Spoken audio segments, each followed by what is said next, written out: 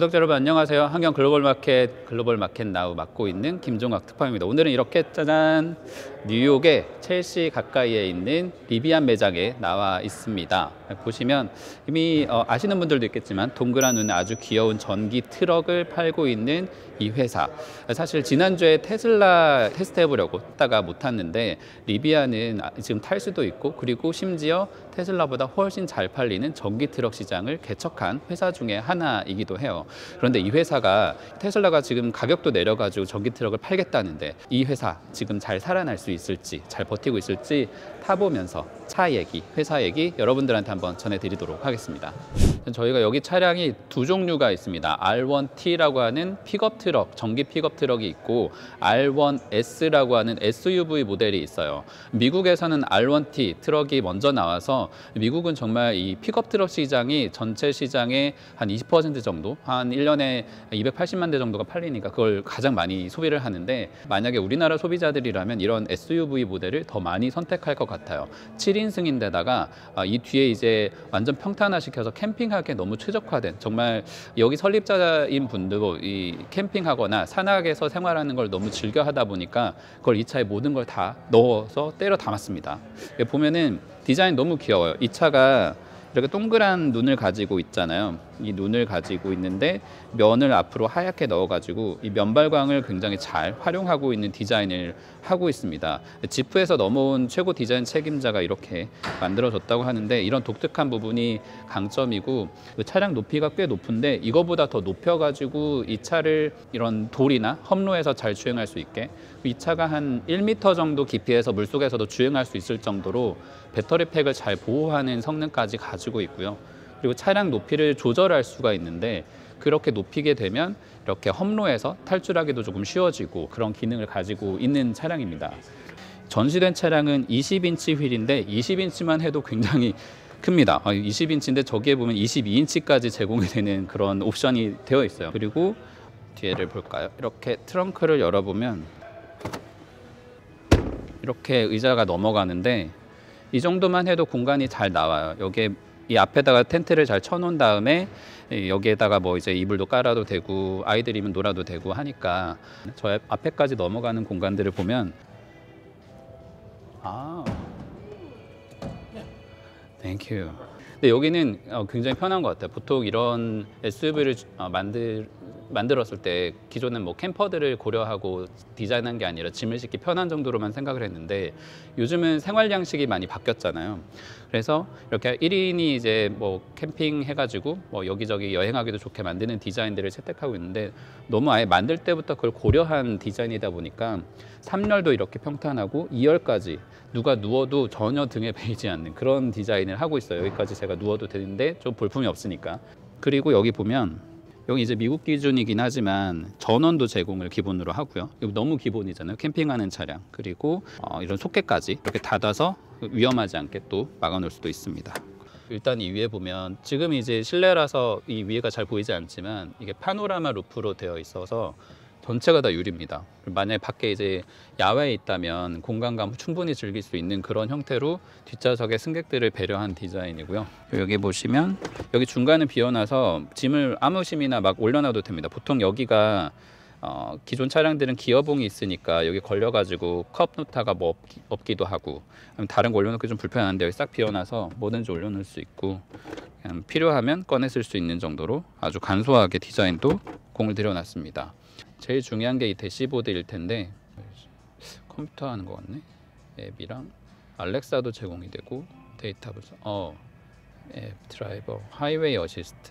이거는 테슬라에서도 똑같이 적용하는 자율주행, 반자율주행 기능 같은 거고요. 내비게이션 서비스 이렇게 제공을 하고 있는. Sorry, I didn't get that. The internet isn't reachable.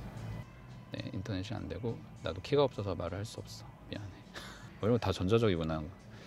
근데 좀전 아날로그적이어가지고 이거 그냥 착 당기고 빡 빼면은 끝나는데 이거 언제 이렇게 눌러가지고 자 조정합시다 해서 이렇게 뽑히는 게 신기하긴 합니다. 참 좋아요. Can you explain the important point?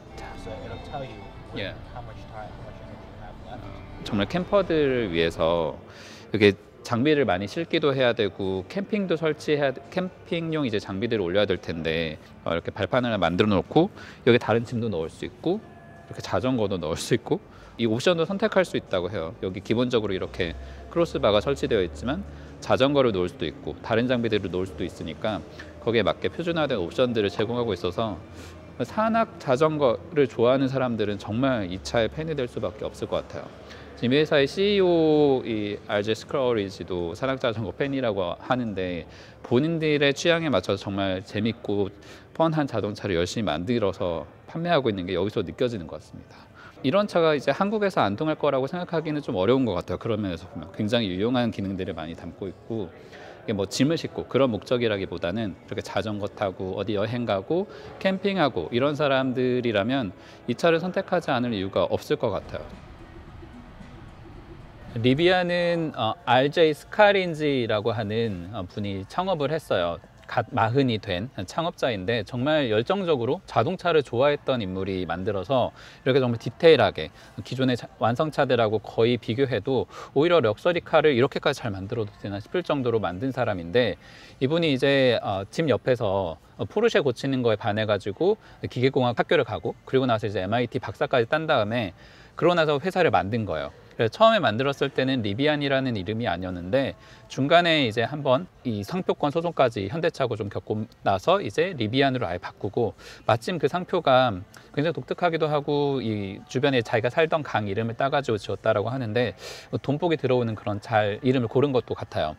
초기에 리비안이 다른 완성차들을 제치고 어, 이 시장을 잡을 수 있었던 거는 아마존이 많이 도와줬기 때문이라고 지금 알려져 있죠. 아마존의 제프 베조스가 이 환경 문제 2030년, 40년까지는 탄소 배출을 완전히 이제 없애는 쪽으로 역시 정책을 하고 있는데 아마 전기차를 만들 기업이 마땅치 않다 보니까 열심히 찾고 있다가 리비안을 만나게 된 거예요. RJ 스카린지와 함께 이 사업을 어떻게 어, 진행할 수 있느냐. 그래서 리비안이 직접 어, 아마존의 배송 트럭까지 제조하기로 하고 그렇게 해서 10만 대의 생산 계약을 맺기도 했습니다. 그 덕분에 리비안이 초기에 투자 자금도 많이 모았고 2009년에 설립을 했고 2021년에 상장을 하기까지 당시에 주가가 한 주당 한 130달러 정도를 조금 넘는 정도로 아주 높은 가격에 상장을 했어요.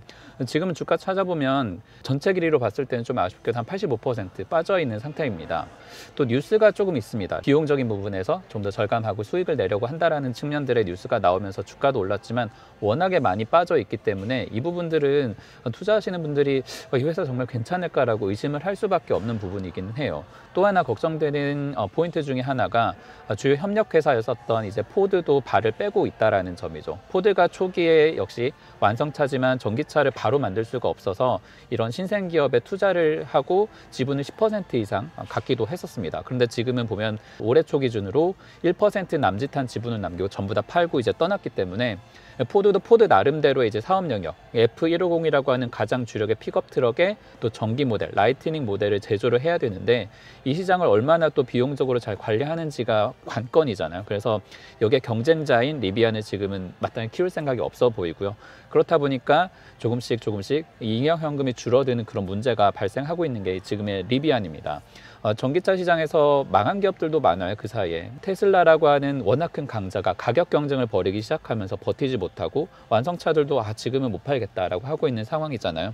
어, 리비안도 마찬가지입니다. 리비안이 이렇게 좋은 나무 재질 좋은 이제 가죽하고 거의 닮은 이런 재질들을 이렇게 빈틈없이 이렇게 제작을 하고 있다 보니까 돈이 많이 들잖아요. 그래서 차량 가격이 기본적으로 뭐 7만 달러 8만 달러 10만 달러 이렇게 올라가는데 이렇게 되다 보니까 미국에서 이제 바이든 대통령이 내놓은 IRA 보조금 혜택을 받지 못하는 상황입니다. 인플레이션 감축법 덕분에 많은 사업들이 수혜를 보고 있는데 가장 커야 되는 전기차 회사가 받지 못하는 상황인 거예요. 그러다 보니까 이 회사가 고심을 한 끝에 지금 내놓는 방안이 조금 더 저렴한 버전의 배터리 팩을 내놓는 방법 그리고 또 하나가 리스를 하는 방법을 지금 추진하고 있습니다. 현재 공식 사이트에서 제공하는 배터리 모델은 세 종류인데 그거보다 용량을 많이 줄여서 더 싸고 어, 간편하게 제작할 수 있는 방법들을 모색을 하고 있고 RJ 스카린지 창업자의 얘기도 어, 조금 더 사람들이 자동차를 소유하기보다는 단기간에 아, 갖고 교환하는 그런 성격의 차량 거래가 많이 늘어날 거다라고 얘기를 하고 있어요.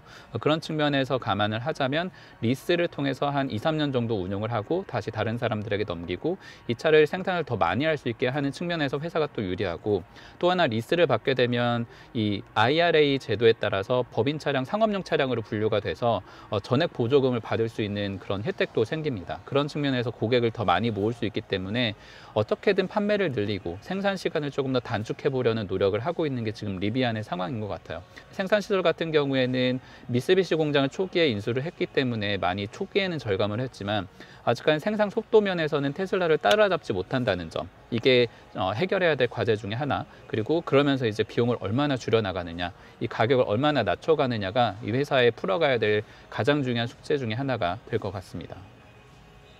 오히려 루시드가 지금 차는 정작 많이 팔지 못하지만 어, 사우디아라비아의 국부펀드가 아주 든든하게 버티고 있다 보니까 어, 그렇게 망할 위험은 없는 회사인 거예요. 사우디가 지분을 60% 이상 확보하고 2030년에 홍해 지역에 어마어마한 도시를 하나 구축할 때 핵심적인 회사로 또 삼고 있어서 오히려 그 회사는 잘 버티고 있는데 리비아는 시장을 잘 개척하고도 갈 길이 아직까지 조금 멀어 보이는 그런 스케줄을 갖고 있는 것 같습니다. 근데 또 한편으로는 낙관적인 게 이제 알제스카린지가 전에 했었던 인터뷰들을 보면 일론 머스크의 길을 가는 게 아니라 아, 아마존 제프 베이조스처럼 가고 있다. 체스판으로 비유를 했었는데 한 두 수 정도 보는 게 아니라 한 24수 앞을 본인이 이제 보고 더 멀리 사업의 스케줄을 짜고 있다라고 하고 있어요. 그런 측면에서 이 처음에 시장을 개척한 이 R1 모델들을 비롯해서 R2라고 하는 조금 더 작은 아웃도어에 최적화된 모델들을 개발을 하겠지만 이렇게 해서 이 시장의 강자로 알려지고 만들거나 하는 이제 품질도 워낙에 또 좋기 때문에 이런 것들을 조금씩 넓혀 나가는 전략을 갖고 있는 것 같습니다.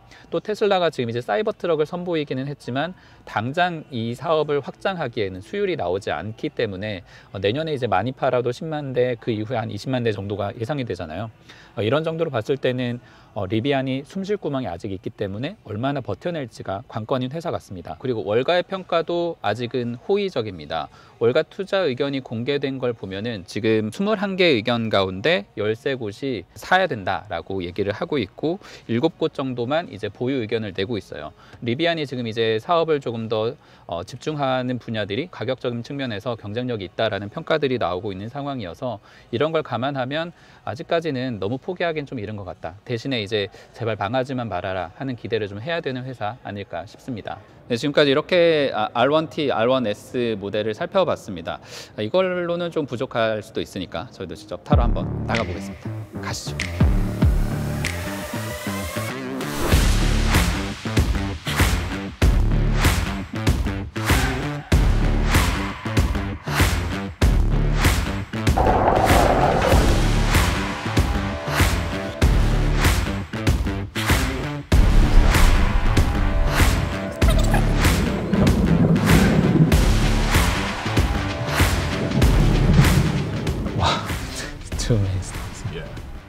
드디어 테슬라 차량에 저희가 앉았습니다. 이렇게 테슬라가 아니군요. 다시 할게요. 가보겠습니다. 그러니까 테슬라나 이런 전기차들이 배터리를 아끼기 위해서 브레이크 대신에 엑셀에서 발을 떼면 회생 제동이라고 해서 표현이 좀 적합하진 않지만 이렇게 배터리를 충전하는 대신에 브레이킹을 할 수 있는 그런 기능을 제공하고 있는데 리비안도 똑같이 밟으면 가속을 하고 발에서 떼면 바로 braking이 되는 그런 기능을 제공하고 있어요. 물론 이제 어, 급한 상황을 위해서 브레이크도 설치가 되어 있긴 하지만 대부분은 one pedal driving 할 수 있을 정도로 기술 구현이 되어 있는데 문, 예, 야, left. 옆에 창문이 엄청 넓게 보여. 위에까지 있으니까. 아 여기가 아파트 있잖아. 아 전경이 잘 보이는. Where I think this car excels is the third row, which is for an SUV, it's Mhm. pretty large. Like I can sit back there. I'm six feet tall, for example, Oh, and I yeah. can sit back there comfortably for really? a couple hours at least. Yeah. I think most of that has to do with the headroom because in the third row there is a glass roof 아 like this. So you get a lot more space back there. 그러니까 지금 보니까 이 차량이 리비안 전기 트럭의 기본 형태를 하고 있잖아요. 어, 그런데 휠베이스도 길고 차량에 들어가 있는 타이, 타이어도 크다 보니까 SUV로 제작한 것보다 조금 더 승차감이 좋은 상태입니다. 그러니까 이 차가 승차 공간이 트럭이다 보니까 5인승으로 조금은 더 작고 그리고 작업을 위해서 뒤에 이제 어, 짐 공간을 두고 있는 그런 차량의 형태를 하고 있어서 승차감이 조금 안 좋지 않을까라는 생각을 하고 있었는데 너무나 편안하고요. 지금 여기에서 이제 만져지는 핸들 질감이나 이런 것들을 생각했을 때는 어, 이게 전기차라는 생각 잠깐 있게 하는 그런 느낌도 있습니다. 그런 면에서 굉장히 좋은 것 같고 이 차는 트럭의 장점을 살려서 만약에 이 캠핑을 정말 간다. 내지는 내가 어떤 이제 자전거들을 왕창 싣고 친구들하고 여행을 좀 가보겠다라고 한다면 너무나 편안하게 한 다섯 명까지 무리 없이 다들 이제 뒷자리도 편안하게 어, 앉아서 즐길 수 있는 공간이다 보니까 어, 그런 면에서 정말 어, 잘 어, 설계가 돼 있는 것 같습니다. 조금 아쉬운 거는 이 테슬라하고 다르게 요 센서가 조금 아직은 부족한 것 같아요. 그러니까 지금 뭐 자율주행 기능이나 뭐 사람들을 인식하거나 회피하거나 이런 면에서는 테슬라가 모으는 데이터가 워낙 압도적이다 보니까 그리고 이런 자체 소프트웨어 경쟁들이 결국에는 이 회사들의 순위를 결정하겠죠. 네. 지금 여기서 이렇게 운전하고 있지만 이 차가 기본적으로 850마력이나 되는 어마어마한 힘을 가지고 있어요. 정말 이거 이 마력을 쓸 필요가 있나 정도의 힘을 가지고 있고 네 바퀴가 모터가 전부 따로 움직이기 때문에 기존의 내연차보다 더 강한 힘을 내고 그리고 전기차 특성 때문에 기본 제로백 3초 나옵니다. 어, 테슬라가 2.9초 정도 나오면서 911을 제쳤잖아요. 이 차도 뒤지지는 않습니다. 테슬라에 보면은 계속 비교를 하자면 가속을 하는 구간을 즐길 수 있는 모드도 있어요. 근데 이 차는 좀 그런 거하고는 성격은 다르지만 어쨌거나 전기차가 안겨주는 확 밟았을 때 확 뒤로 젖혀지면서 내가 어 이렇게까지 밟아도 되나라는 느낌을 주는 그런 차기는 하거든요. 어, 그런 면에서는 어, 여기도 이제 만만치 않은 주행 감각 그리고 이 서스펜션도 굉장히 탄탄하기 때문에 차에 이제 높이 조절할 때 잘 보면은 차 안에 정말 이 원통이 어마어마한 서스펜션을 감싸고 있어요. 근데 이런 거를 봤을 때는 좀 보통 작심한 게 아닌가 싶기도 한데 뭐 그런 것까지 이제 투자하면서도 속도도 나는 그런 차라는 게 주행하면서 가장 신기한 부분이에요. 어떻게 이렇게까지 만들지? 네, 오늘 저희가 리비안의 전기차 모델들을 차례로 타봤습니다. 트럭과 SUV 정말 이 두 모델만으로도 착실하게 틈새 시장을 잘 공략해 가고 있구나. 어, 떻게 이렇게 차를 잘 만들었지라고 생각이 들 정도로 어, 좋았던 경험이었습니다. 그런데 한편으로는 어, 정말 주가도 많이 내리고 이 회사가 아직까지는 제대로 흑자를 내고 있지 못하기 때문에 점점 치열해지고 있는 이 전기차, 특히나 트럭 시장에 테슬라라고 하는 강자가 또 들어오고 있기 때문에 얼마나 버텨낼지 어, 이 부분을 좀는 게 중요한 회사 같습니다. 어, 여기에 정말 이 자동차에 빠져가지고 회사를 창업했던 창업자나 그리고 이 전기차를 새로 어, 만들어서 새로운 시장을 열어보려는 어, 직원들의 생각들을 또 봤을 때도 가능성이 있어 보이지만 너무나 많은 공룡들이 또 다가오고 있기 때문에 지켜봐야 되는 그런 회사가 리비안 같습니다. 어, 정말 이런 전쟁터에서 리비안 살아남을 수 있을까요?